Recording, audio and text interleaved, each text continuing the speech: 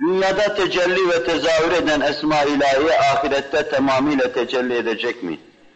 Ehli cennet için günah işlemek ve tevbe etmek, ölmek, dirilmek mevzu bahis olmadığına göre Allahu Teala'nın Tevvab, Gaffar, Ümit ve Muhyi gibi esmasının tecelliye nasıl olacaktır? Ve dünyata vakıf olsaydım da bunları tasavvur, düşünce ve nazari olmanın dışında arz edebilseydim. Allah'ın esması dünyada tecelli ediyor. Esasen İmam-ı Rabbani'nin ifadesiyle kainatta hakiki hakaikül eşya esma ilahiden ibarettir diyor. Biz diyoruz ki eşyanın hakikatları esma ilahinin cilvelenmesinden ibarettir. Tıpkı eşya şuna benzer. Esma-i ilahi muttasıl tecelliler halindedir. Bu muttasıl tecellileri kendilerine bir kısım yoklukta gölgeler bırakırlar. Muttasıl tecelliler. Benzetmek olmasın, mesela Cemil ismi, Celil ismi, Rahim ismi, Gafur ismi, sinema şeridinde sırayla böyle tecelli kareleri gibi kareler halinde boşlukta tecelli etmektedir. Bu boşlukta tecelli eden esma ilahi karşıda boşlukta gölgeler bırakır. Ve eşya işte bu gölgelerden ibarettir haddi zatında. Diğer isimleri de buna inzimam ettirdiğimiz zaman çeşitli isimlerin noktayı mihrakiyesi bir kısım varlıklar meydana gelir. Bin bir ismin azamının noktayı mihrakiyesi insan meydana gelir. Mesela bir Cebbar ismi, Gaffar ismi, Fettah ismi, Rahim ismi, Rahman ismi, insanda tecelli eden isimler bir noktayı mihrakiye bulduğumuz zaman insan tecessüm eder. Haddi zatında bu her şeyi ariye, Allah'tan bir varlıktır. Her şey Allah'tan gelmiş bir varlıktır. Mesela Cemil ismi ona verdiği şeyi alıverse, mesela Halık ismi verdiği şeyi alıverse, Bari ismi var, verdiği şeyi alıverse, Semi ismi verdiği şey yani Sem'i alıverse, Basir ismi verdiği şeyi alıverse, Kelim ismi verdiği şeyi alıverse geriye, Kadir ismi verdiğini alıverse, Mürid ismi verdiğini alıverse insan açıkta kalır. Ancak bu isimler bir noktayı mihrakiye bulup tecelli edince bunların ittisali, ihtilati, bu tecellilerin ihtilati bir varlık meydana getiriyor. Allah'ın emir ve iradesiyle oluyor bunlar. Bir varlık meydana geliyor. Esma ilahinin tecellisinin gölgesi varlıklar diyoruz. Ama Hazreti İmam o vahdetü şuhudun temsilcisi olması itibariyle diyor ki hakiki eşya esma ilahinin hakikatinden ibarettir. Hakiki kainatta hiçbir varlık yoktur. Belki esma ilahi insanlara göre öyle teşelli ediyor. Bu mevzuda daha ileriye giden vahdeti, vücutçu, Muhiddin İbn Arabi Hazretleri ise diyor ki hiçbir şey yoktur. Her, her şey evham ve hayaletten ibarettir. Her şey onunla kaimdir. Belki benim size şu ariye mariye deyip alsa alsa alsa elinizde bir şey kalmayacak dediğim elin alemin ariye gömlekleriyle ispatı vücut eden sizler haktan aldığınız her şeyi hakka verdiğiniz zaman siz de sıfıra incirar ettiğinizi göreceksiniz. İşte bu dikkat buyurun nihai münteha nokta itibariyle Muhyiddin İbn Arabi diyor ki hiçbir şey yoktur.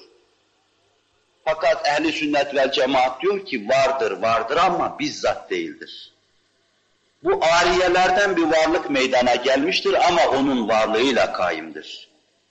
Vücudu hakiki Allah'ın vücududur. O kendi kendine kaimdir. Vücudu ari olan, ariye varlık bizim varlığımızdır. Biz onunla kaimiz. Haddi zatında tecelli ilahi düşünmediğimiz zaman biz kendimizde düşünemeyiz. Şimdi bu meseleyi çok iyi anlayalım. Dünya da esma ilahiyle kaim. Bütün dünya. Bütün güzellikler bir isme raci. Bütün muhabbetler, cezbeler, cazibeler bir isme raci. Bütün tekevvinler bir isme raci. Bütün keyfiyetler bir isme raci, bütün kemmiyetler bir isme raci, bütün eyniyetler bir isme raci, kainatta gördüğümüz uzunluk, efendim derinlik, umk filan hepsi bunların birer ismi ilahiye raci olduğunu görüyoruz. Cennette ruhani ve cismani nimetler bunlardan çok farklı değil ki, cennette esma-i ilahinin tecelli edip etmemesi hususunu münakaşa yapalım. Cennet de aynen geliştirilmiş, olgunlaştırılmış, perdesiz, hailsiz, doğrudan doğruya Cenab-ı Hakk'ın esmasının tecellisinden ibarettir. Yalnız orada manalar dahi tecessüm eder. Yani sizin ibadetü taatınız lütfa noktayı mihraki olduğunda karşınıza bir kavun çıkar. Sizin güzel bir Allahu Ekber demeniz, Cenab-ı Hakk'ın insanına bir noktayı mihraki, odak noktası olduğu zaman bir karpuz çıkar bundan. Sizin bir hasbunallah ve nimel vekil demeniz, Cenab-ı Hakk'ın eltafına mazhar olduğu zaman bir cennet kevseri çıkar bundan. Böyle tecessüm eder orada. Binaenaleyh cennet bütün envaı nimetleriyle, ihsanat-ı ilahiyle onun içindeki esma ilahinin tecellisinden ibarettir. Ayrıca dikkat buyurun. Buradaki tecellide mahlukat doğar, büyür, var olur, gider, yok olur. Orada ise zevklerin teceddüdü şeklinde bir hal arız olur insana. Yani bu esma ilahinin dikkat buyurun muttasıl bir sinema şeridinde kareler halinde birbirini takip etmesinde 1, 2, 3, 4, 5 numaralı karelerde biz ayrı bir nimete mazhar oluruz. 6, 7, 8, 9, 10 numaralı karelerde ayrı bir nimete mazhar oluruz. Tecellide dikkat buyurun. Haşa Cenab-ı Hakk'ın zatında zaman geçmez. Yemez, içmez, zaman geçmez, beridir cümleden Allah. Tecellide diyoruz. Esma ilahi burada tecelli ediyor, doğuyor, büyüyor, olgunlaşıyor, ölüyor, çürüyor, gidiyor. Ama orada muttasıl esma ilahi tecelli eder ve insan her an hem şahsında, hem ailesinde, hem evine gelen yağan nimetlerde, hem bağ ve bahçesindeki meyvelerde daimi bir teceddütle karşı karşıya kalır. Onun için Kur'an diyor ve utu bihi ve utu bihi. Onlara birbirine benzeyen nimetler verilir. Arkadan ayrı bir nimet gelir. Mesela Cemil isminin masarı da fakat olgunlaşmış, değişik. Ülfet ve ünsiyet olmasın diye. Burada muttasıl ibadetlerine mükafat olsun diye orada tecelli olur. Orada böyle yine nimetler ve cennet halinde Esma ilahinin tecellisi olduğu gibi farklı bir durum vardır. Burada ancak Enbiya'nın mazhar olduğu tecelli zat, orada o da olacaktır. Burada biz bunu göremiyoruz. Görsek de başkaları görse de idrak edemezler. Fakat orada bu tecelli zat da olacak. Cuma günü mü ama hangi ölçüye göre cumadır yani? Bu hangi alemin haftası ki onun cuması? Haftada bir gün çok mühim mev mevakıya gittikleri zaman Cenab-ı Hakk'ın cemalini müşahede edebilecekleri cennette dahi haftalık terakkinin onları ulaştırdığı bir doruk noktası olacak. Oraya çıkınca cemali ve kemali müşahede edecekler, o da onları görecek. Evlerine döndükleri zaman şekilleri, cismaniyetleri ayrı bir hüviyet kazanmış. Eskisine benziyor fakat tıpkı baharda çıkan geçen seneki elmaya benzeyip de elma olmayan elma gibi bir şey. Eve geldiklerinde zevceleri onları tanıyamayacak, hadis ifade ediyor. Onlar da onları tanıyamayacaklar. Zat-ı Bari'nin tecellisinden bu mazhariyet olacak. İşte bu burada yok. Bu orada olacak. Rü'yeti cemalullah diyoruz. Cenab-ı Hak cümlemizi cennet ve cemalullah şerefiyle serfiraz kılsın inşallah. Bir de bu kardeşimiz sorusunun sonunda diyor ki orada günah işlenmediğine göre Tevvab, Gafur, Mümit ve Muhyi gibi esma ilahi vardır. Bunlar orada kendilerine göre yine tecellileri vardır da burada günah işlemiş bir insanın günahının affolması şeklinde değil de değişik şekilde olur. Bunu da sizin aklınıza yaklaştırmak için bir misal arz edeyim bakın. Şeriatı Garra'nın ehli sünnet vel cemaat anlayışı içindeki ifadesine göre bir insan eliyle, ayağıyla, gözüyle, kulağıyla yani fiili günah işlemezse Cenab-ı Hak içinden, kalbinden, kafasından geçirdiği şeylerden ötürü o insanı muhakaz etmez. Nitekim Sure-i Bakara-i Celile'nin sonunda inen bir ayette sahabi böyle anlamış ve mustarip olmuştu. Fakat sonra ayet gelip kavzih buyurdu veya nefh etti o hükmü. La yükellifullahu nefsen illa vus'aha. İçlerinden geçen şeylerden onları muhafaza etmeyeceğini ifade buyurdu. Fakat kalben tasaffi etmiş, nefsi safiyeye mazhar olmuş nice büyük kimseler vardır ki onlar yaşadıkları hayat süresince akıllarından geçen günahların cezasını başlarına gelen musibetlerle çekerler. Musibet gelmeden aklından geçmiş bir günah varsa hemen diz gelir, Mevla'ya teveccüh eder, tevbe ve istiğfar yapar. Burada iki mesele birbirinden ayrılmış olarak karşımıza çıkıyor. Birisine göre günah sayılan şey diğerine göre sayılmıyor. Birisi kafasından kalbinden bir şey geçirince kalbine kafasına bir bela geliyor hemen. Fakat birine bir şey olmuyor. Öbürü bir safiyet kazanmıştır. Allah'la kurbiyeti vardır. Kurbi huzura gelmiş el pençe divan duruyordur. Orada dudağının geriye gitmesi suyu edeptir. Dudağı geriye gittiği zaman yeryüzünden tokatı. O o makamın şeyidir.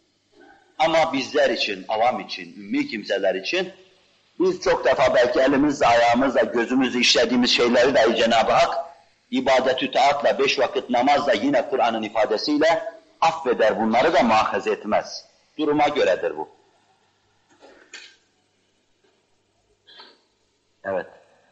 Eshab-ı cennet, cennette Allah'ın nimetleriyle perverde olurlar. Bir kurbiyet kazanmışlardır.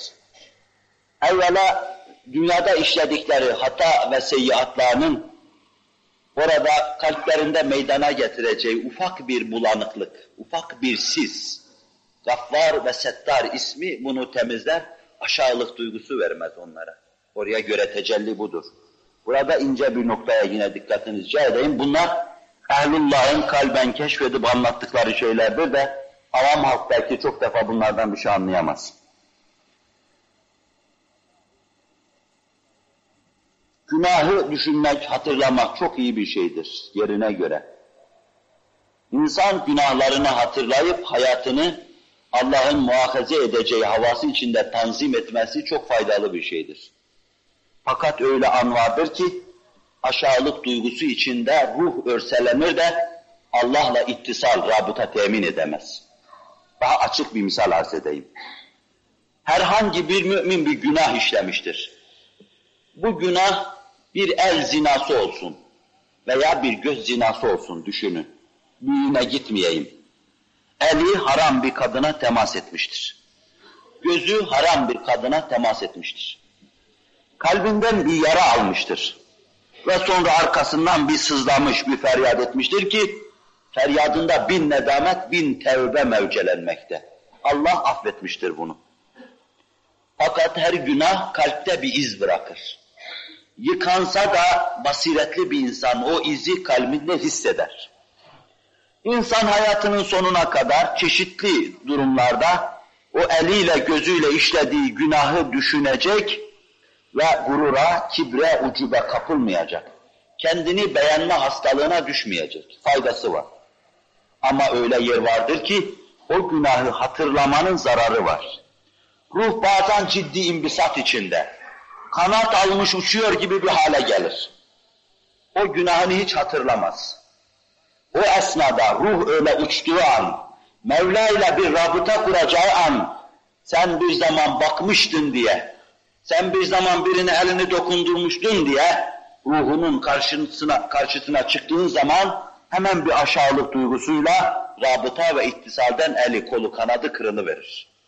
İşte bu mevkide o günahı düşünmek hatarlıdır, zararlıdır. Yerinde düşüneceksin günahı. Anlatabildim mi meseleyi? Bunun gibi Cenab-ı Vacibül Vücud'un Gaffar ve Settar isimleri cennette niyami ilahinin tadını kaçırmama vazifesini yapar, her an kulun kalbini tertemiz, berrak, dupduru, o eski günahlarını, eski durumunu hatırlama imkanını vermez. Daim ona duru gösterir. Bu da Allah'ın ayrı bir lütfudur.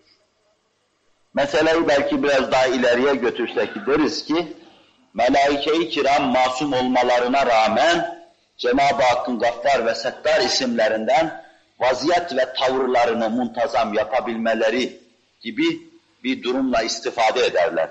Herhalde cennette Cenab-ı Hakk'ın nimetleri içinde perverde olan kimseler de orada bir kısım nahoş gibi görünen vaziyetlerini Cenab-ı Hakk'ın bu kabil isimleriyle tanzim ederler. Nimetlerin tadı kaçmaz.